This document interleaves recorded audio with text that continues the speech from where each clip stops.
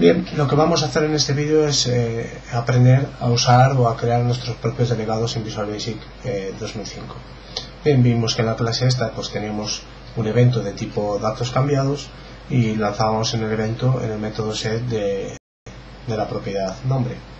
Bien, eh, un delegado se podría definir como un puntero a una función, es decir, un tipo que guarda una dirección de memoria de un método que, que vamos a ejecutar, por ejemplo. Bien, para crear el delegado lo único que hacemos es indicar el ámbito, la palabra reservada, especificamos si devuelve valores y el nombre que le queramos dar al delegado.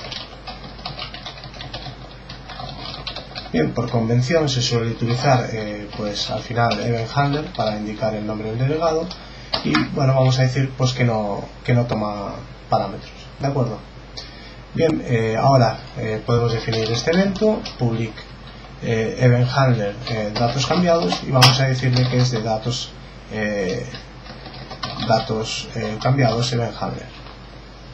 Bien en este momento hemos construido un delegado que no toma parámetros hemos construido pues un evento de ese tipo de delegado y lo vamos a avanzar. Bien si este delegado por ejemplo tomara algún tipo de parámetros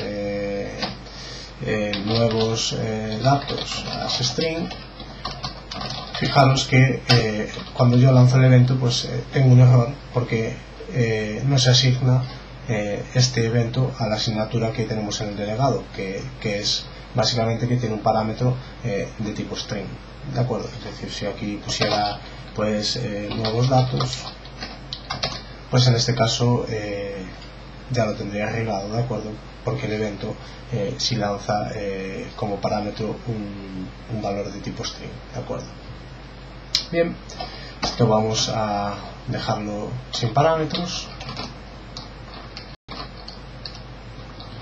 Así. Y ahora vamos al módulo que maneja esta clase empleados. Fijaros que ahora ya eh, puedo pues eh, manejar este evento con, un nuevo delegado. Si compilamos,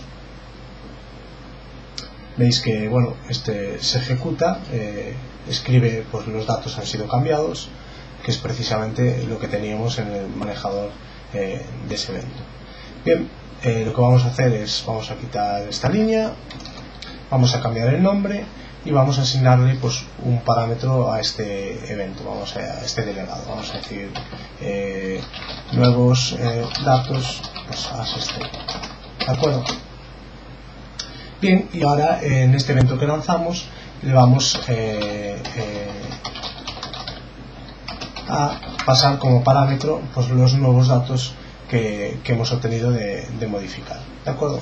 Entonces, aquí pues eh, tomaría eh, para ajustarse a la asignatura del delegado tendría que tomar un parámetro, por ejemplo datos ¿de acuerdo? No tiene por qué llevar el mismo nombre, sería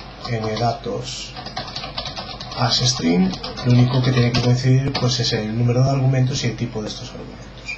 Y aquí en vez de hacer un console line de esta línea lo que vamos a decir es que hago un console line de los n datos que me han pasado. Bien, si ejecuto esto fijaros que eh, lo que me está escribiendo son los nuevos datos. Es decir, primeramente estoy escribiendo los datos que tenía eh, Ruiz como Unai después cambio el nombre al nuevo nombre y al cambiar el nombre pues eh, se lanza el eh, datos cambiados y yo lo manejo y escribo los nuevos datos pues eh, que sean con los que se han cambiado eh, pues en la clase empleados.